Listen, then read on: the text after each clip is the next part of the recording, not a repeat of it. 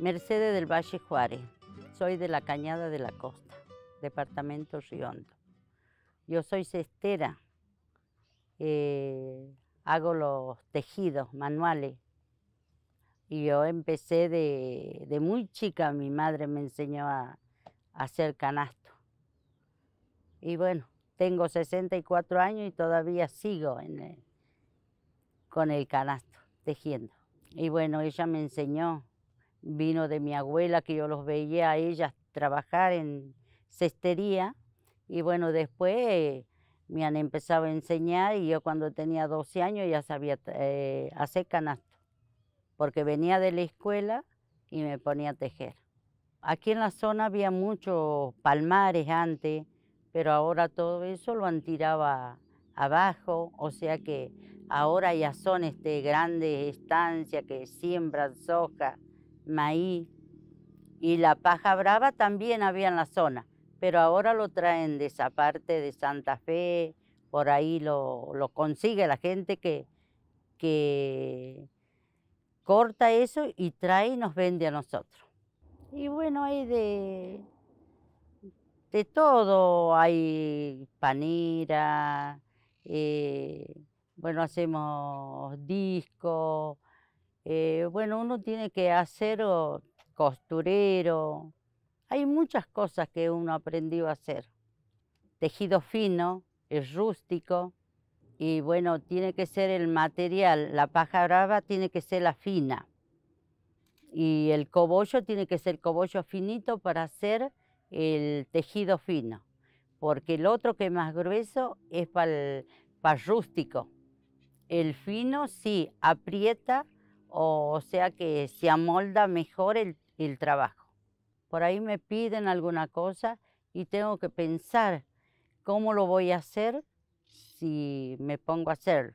Pero le lleva, tiene que estar muy tranquila para hacer una pieza de esa. A mí por lo menos me lleva más de un mes, pero son piezas chicas. Yo tengo una, una tía que ella siempre me enseñaba lo, para hacer los diseños de la, o sea, los dibujos, todo eso, y bueno, ella siempre me, enseñaba a mi tía.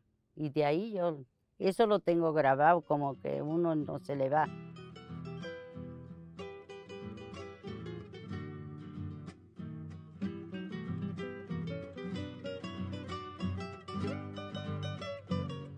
Eh, bueno, mi nombre es Paola Mancilla. Eh, bueno, soy artesana cestera. Y bueno, mis comienzos con, esto fue por mi madre, por una artesana muy conocida, Mercedes Juárez. Y bueno, desde niño nos enseñó ella a, elaborar, a cómo empezar a hacer. Yo calculo la edad, no sé, de 6, 7 años. Este, y bueno, y después nos fue explicando las distintas técnicas para aprender.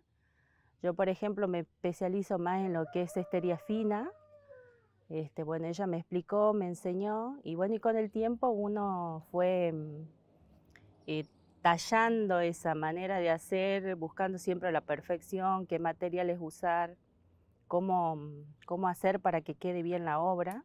Y bueno, y con la guía de mi madre hemos podido, y juntas actualmente, juntas trabajamos, algunas obras en conjunto, otras por separado, pero bueno, esos fueron mis inicios. Este, y bueno, creo que aprendí bien y seguimos juntas aquí todavía. Nosotros somos un varón y una hermana más y bueno, nos enseñaban los tres juntos porque siempre nos ponía ahí a la par de ella como para que no anduviéramos por ahí haciendo travesura, bueno, nos podía elaborar o ayudarle a hacer una parte de un asiento primero, después ella lo seguía como para ayudarle a ella para que vaya un poco más rápido con su obra. Donde nos enseñó a nosotros en esta planta de caña, que antes era más grande, era bien frondosa y en las tardes de verano era la que más sombra nos daba. Y siempre nos sentaba ahí al, al, estábamos así como una rueda. Y en ese tiempo vivía mi abuela también, que era artesana. Y bueno, y ahí nosotros hacíamos, digamos, no había lo que hay ahora, las distracciones, no teníamos muchos canales de dibujo que podíamos ver, así que, bueno, ese era nuestro pasatiempo. Bueno, a mí siempre me gustó el tema de arte, por eso será que le puse tanto empeño en, buscar formas, mejorar las cosas. Este, me, me, me gusta a mí, me gusta hacerlo, me gusta pensar cosas nuevas, o sea, a mí me apasiona. Muchas veces yo eh, escucho cuando paso por, por experiencia de mi mami que mayormente se explica. Se explica porque a veces uno le pide un precio, por ahí se les hace mucho, pero por ahí la gente que no sabe no sabe el sacrificio que hay detrás de esto.